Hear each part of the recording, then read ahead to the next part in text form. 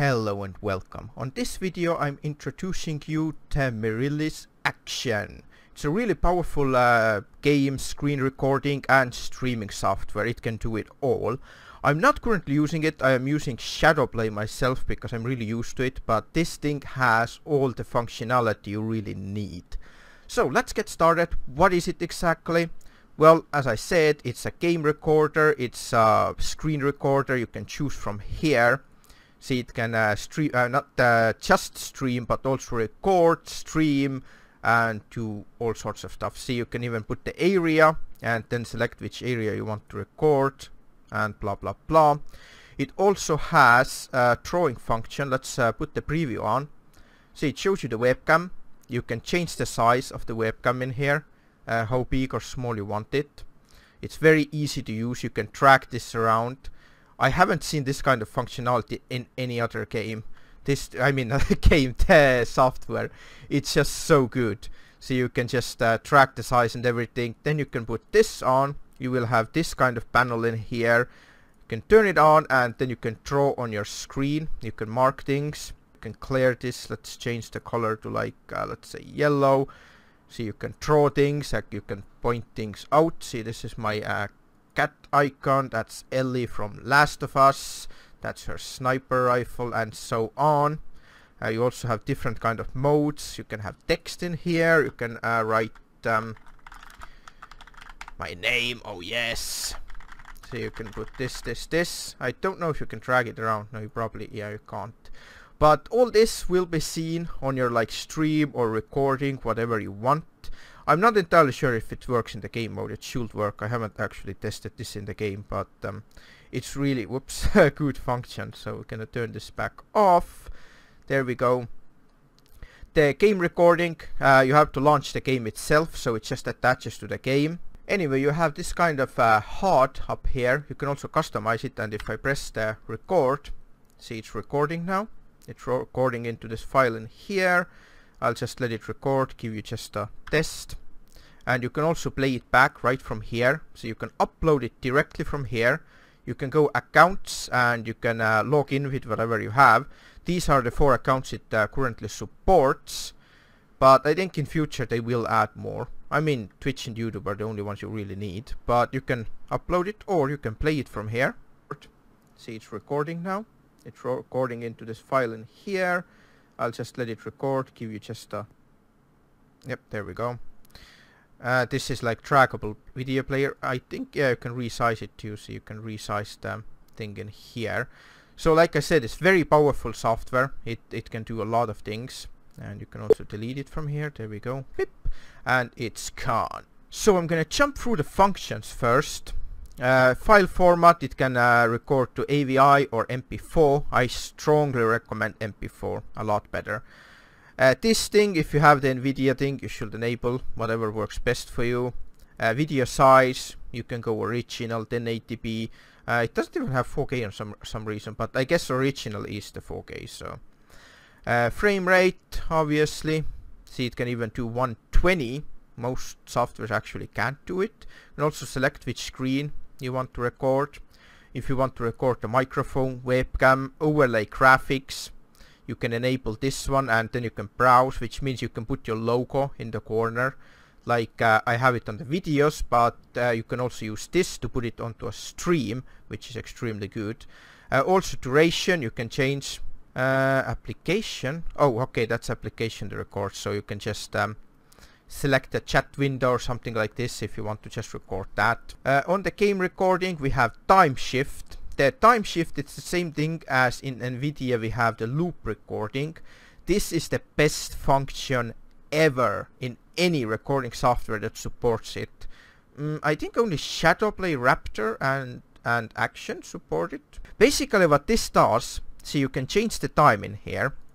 So what happens is that it records 5 minutes but it doesn't save the file. I mean obviously it keeps a temporary file but it doesn't actually save it so if you play let's say you play for 3 hours and there is only like one cool moment that happens then this thing here helps you save that moment I'm gonna go into hotkeys for a second and show you uh, where is this time shift. See, there we go.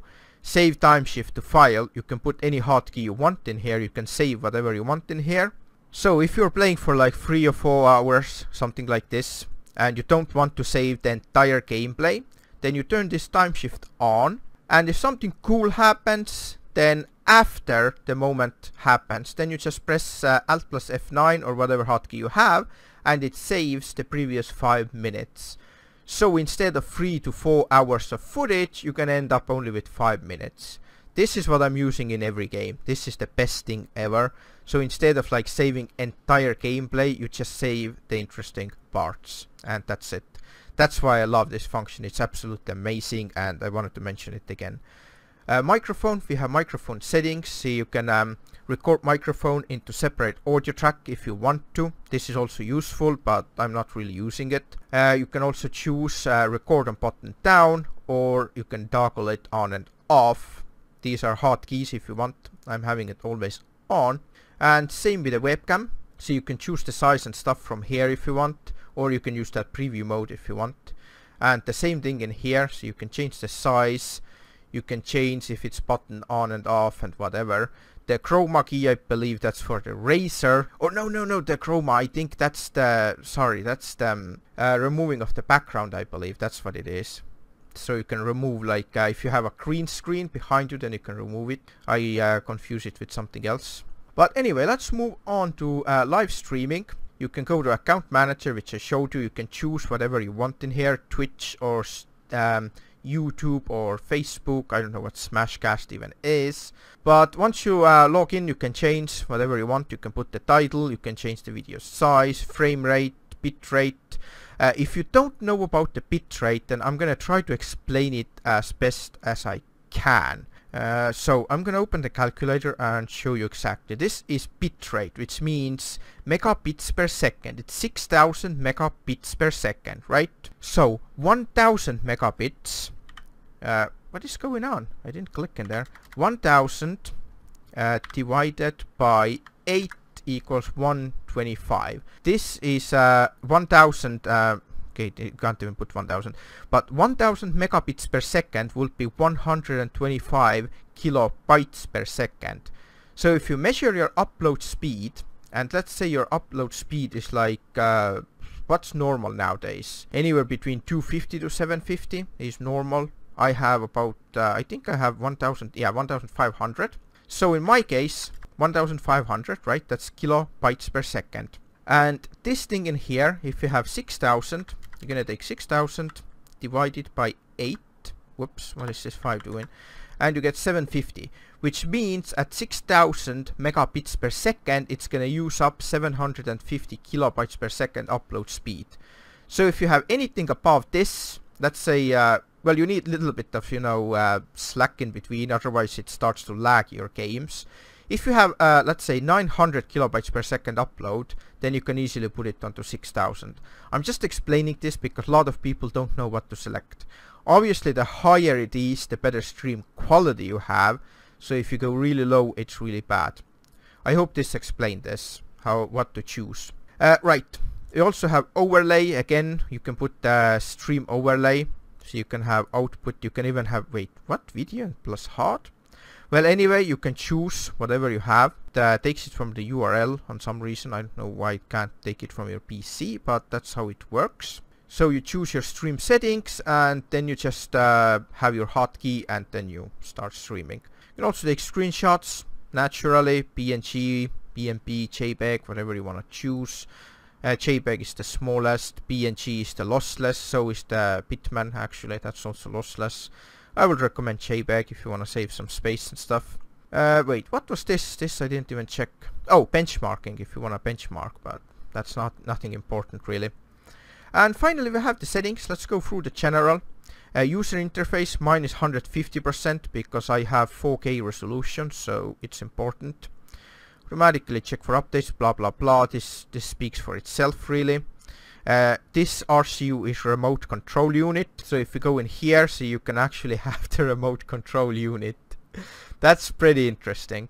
Right, moving on uh, for the video settings, to the video settings, uh, output range. I don't think that any monitors nowadays even uh, have the limited, uh, you know, range, so you should have it on full range. Uh, video quality speaks for itself. Uh, bit rate, you should always have it on 100% if you're recording just onto your drive. It's always better to have.